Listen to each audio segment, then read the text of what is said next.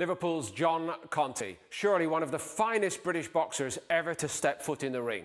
Here's Conteh making the second defence of his WBC World Light Heavyweight title against the formidable Mexican Yaqui Lopez in Denmark. Conteh had captured British, Commonwealth and European honours before going on to be crowned world champion in 1974. Lopez had 31 wins on his resume and nothing to lose in this fight.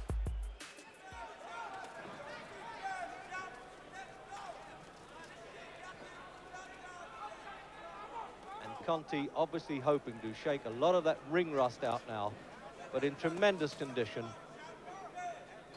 12 stone, six and a quarter pounds. Lopez, 12 stone, five.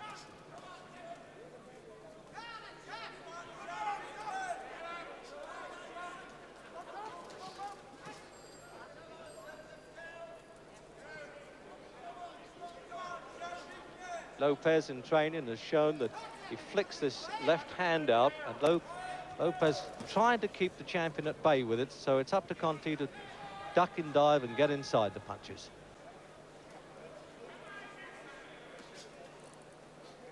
And remember when you're scoring that the blows should be delivered with the knuckle part of the glove onto the target areas. So blows around the sides and arms do not really count.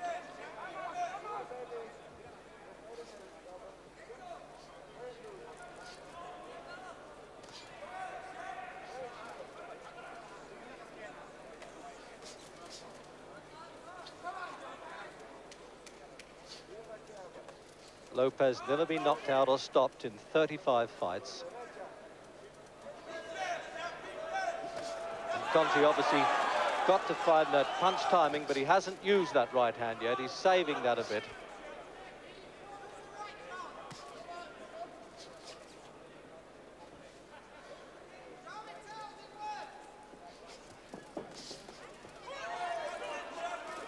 Just a a feeling punch with the right hand, a short one. He's been practicing that in the gymnasium, I notice. Doesn't put the knockout punch into every right-hand shot, but hurts with them.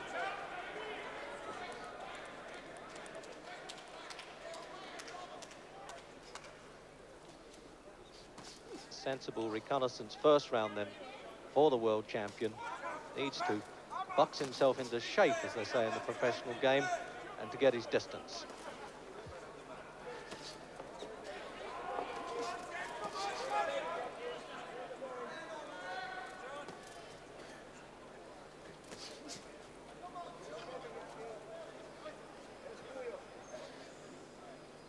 Don't quite know the punch strength of Lopez yet.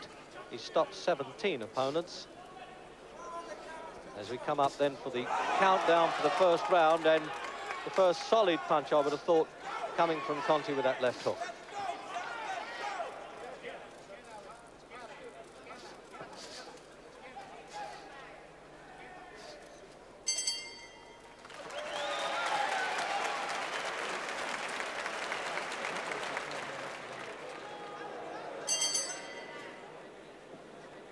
Round three and a rather weak bell here, so if there's a flurry of punches and the crowd are roaring, uh, we're going to have trouble hearing that.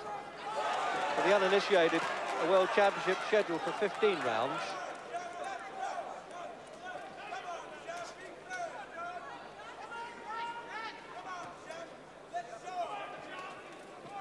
Intelligent boxing, seems to me, by both champion and challenger. Not expending too much en energy, both trying to pave their way in and seek the openings. And I like the way they're standing almost toe-to-toe. -to -toe. The amateurs tend to dart around the ring and get too much daylight between them.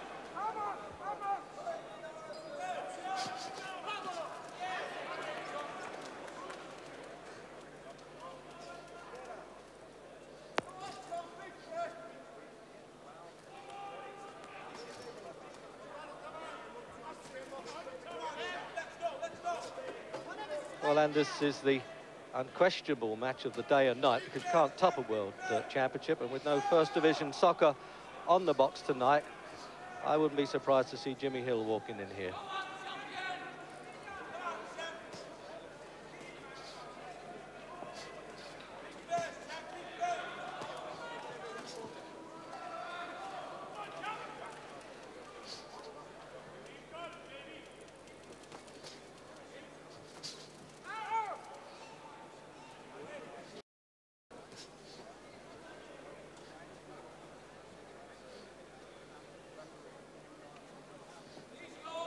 As close as I am to the ringside here, honestly, you can almost hear their brains working. Lopez's didn't work too well there because he caught that left hook. And obviously that's the way that Conteh hoped to win. He's, he's improved that left hand considerably since he's had to nurse the right hand punch.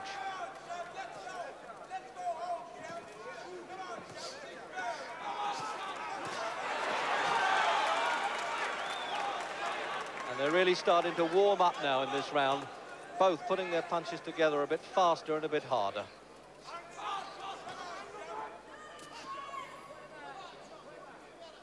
Well, Lopez takes a good punch. I think we're soon going to find out.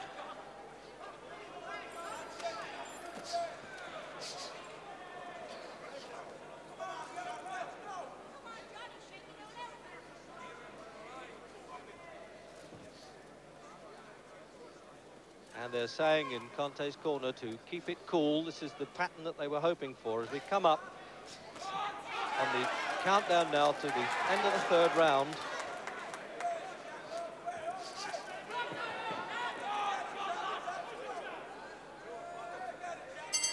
And it's looking good for Conteh, and we'll be back in a minute. So round five, sort of quarter mile stage here. And obviously not too much in it. If you're going to score on the quality of punch, then Conteh is just ahead. And this challenger keeps prodding away with that left hand, and no doubt the German referees taking good uh, sight of that. Well, the game here is really to catch the opponent's eye and that of the referee and judges if you can help it. The judges come from France and Italy. That uh, right-hand punch of Lopez lost its impact there by the time it caught Conteh on the face. A bit too long.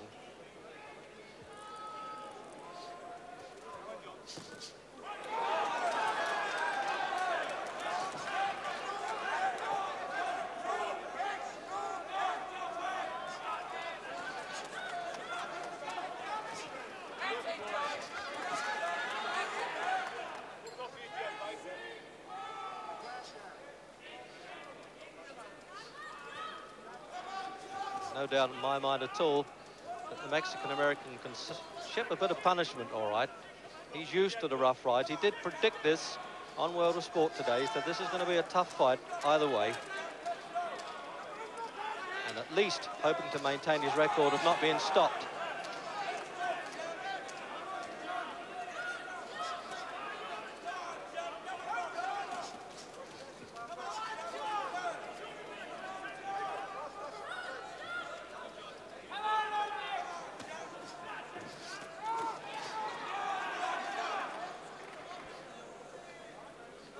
Question about it. Conteh limiting the use of that right hand. When he lets it go, he wants it to really count. Doesn't want to waste it or catch Lopez on the top of the head and cause any further damage. Had to have a bone graft to harden that right hand up. And this is the first time that he's had the eight-ounce gloves on in 14 months.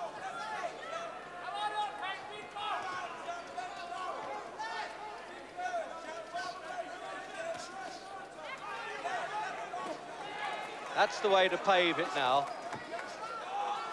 That's the way that Conteh's got to keep using that left hand to open up Lopez.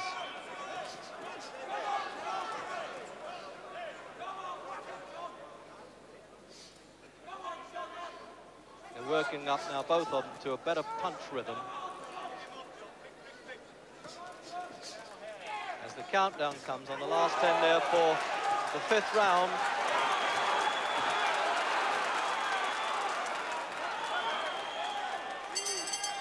John Conteh well on top of the bell at the fifth, and we'll be back in a minute.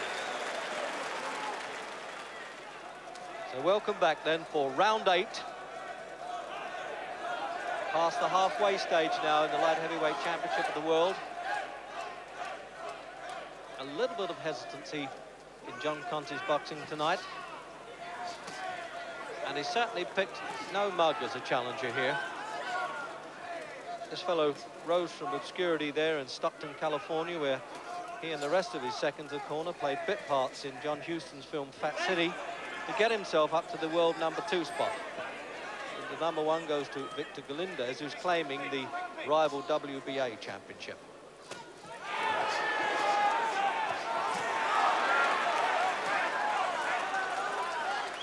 I think Conteh will have to open up and mix it with Lopez now.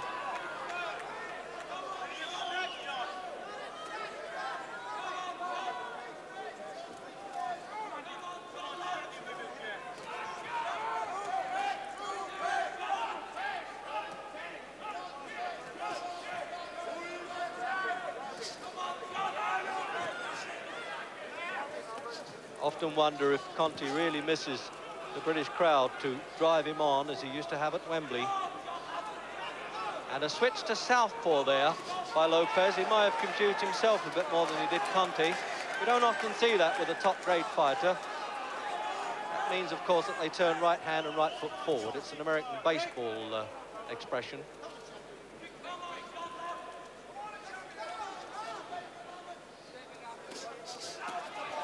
Conteh allowing the pace to drop a bit here. I'm wondering at the end of this round if Kenny Buchanan agrees with that.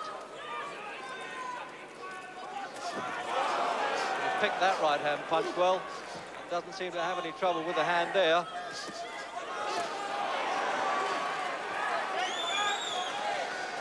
So with a minute to go in round eight, Conteh realising that he's got to double up his punches a bit.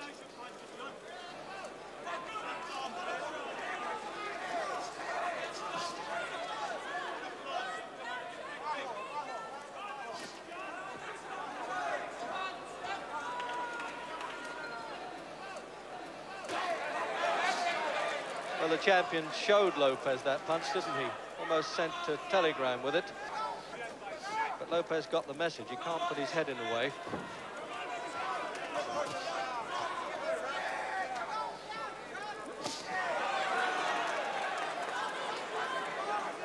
So the last 10 then of round eight.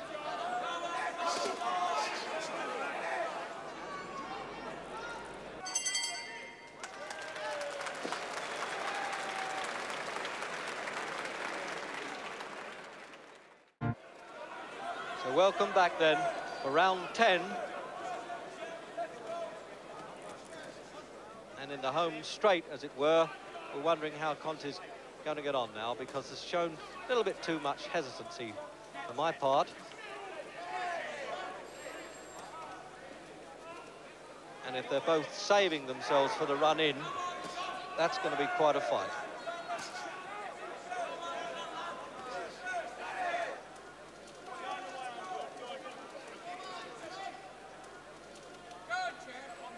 Referee keeping well out of the picture there.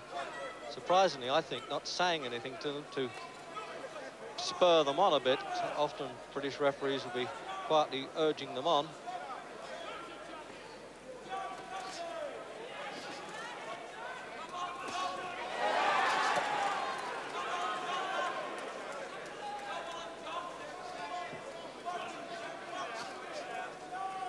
Lopez trying to match uh, Conteh for the left jab and often succeeding there. Not too much of a hard hitter, I would have thought Lopez in this world class. And his record doesn't show that, but he's, he's fought a few tough nuts in his time. And the last man that he defeated, uh, Jesse Burnett, is very well feared in American rings.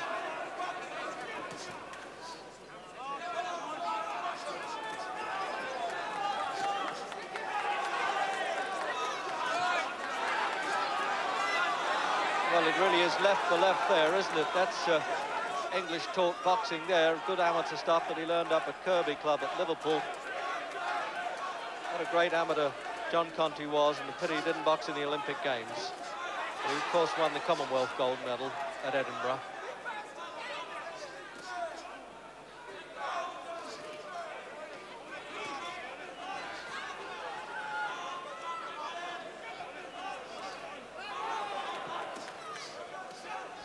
Oligold Conteh riding that long right hand from the back of the hall than it does close up.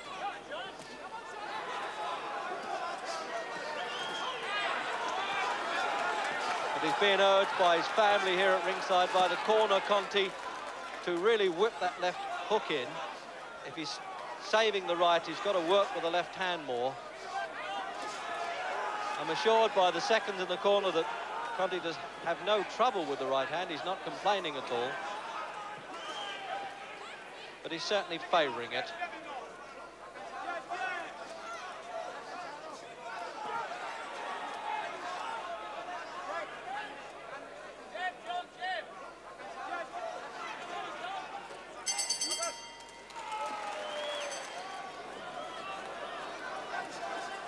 So we come up now for round 11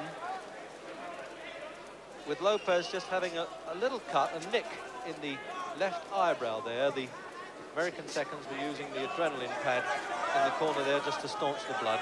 It's very little.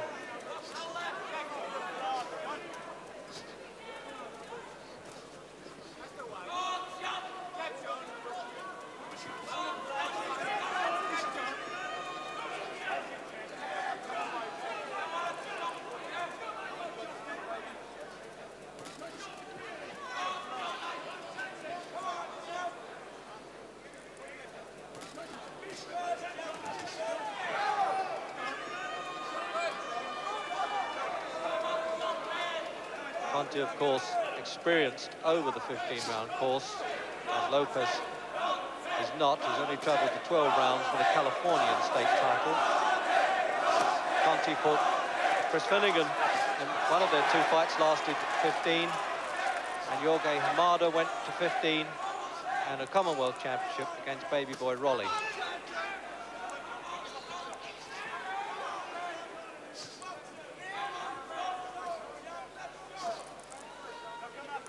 Definitely a bit of fire missing, isn't there, with John Conteh?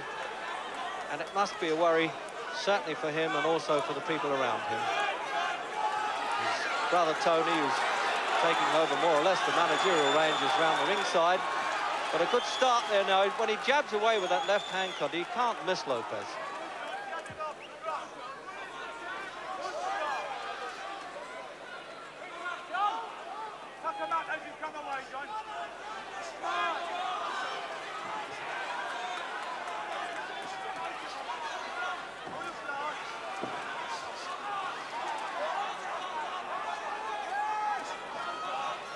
Lopez got a cut above the left eye there.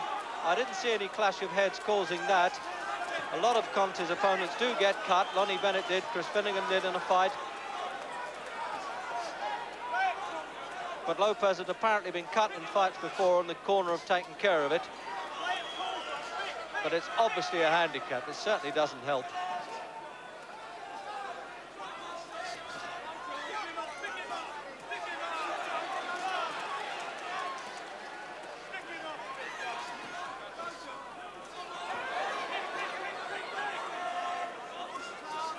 It doesn't look too bad an injury, I must say.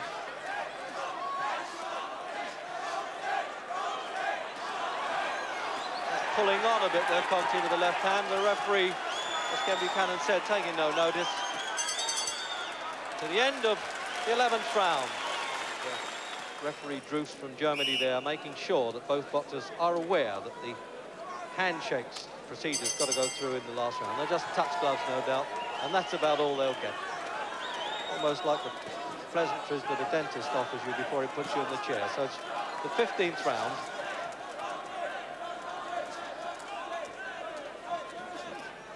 And after the decision, hopefully we'll get a quick word with Conteh on how he feels about this performance. Win, lose or draw, as they say. But of course, Conteh's punches have been cleaner, more of them, more on target but it's far from the runaway win that people expected, isn't it?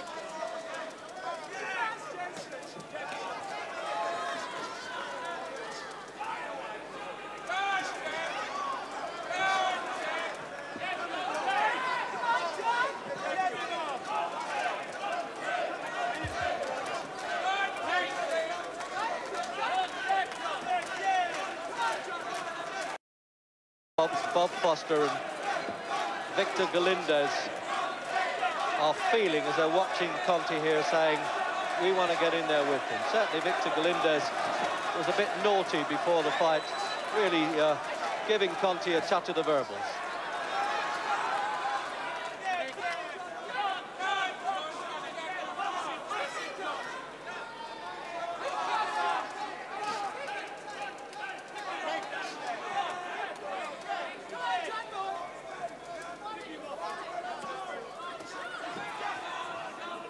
Some power left in that Conteh right hand. He's taken a few more chances with it in the last round. Look at that, doubling up with the left hand. This is, this is as good as I've seen Bo Conteh box for a long time. This is the sort of stuff that won him junior and amateur senior titles. So with one minute to go in this light heavyweight championship of the world from Copenhagen, Conteh a little bit puffed around the face, but always seeking to pile those points up. I'll sort the mathematics out at the end of this one.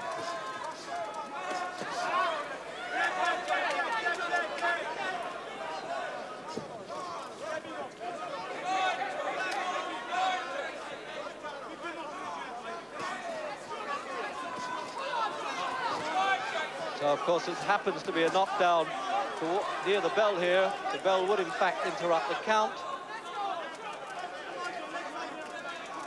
And certainly Conteh now has left it too late for a spectacular knockout. And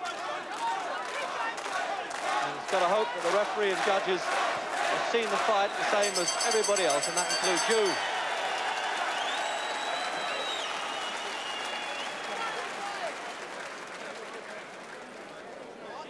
there is good close-up of the champion. og stadig verdensmester John Conteh. So that's it, John Conteh retains his World Light Heavyweight Championship.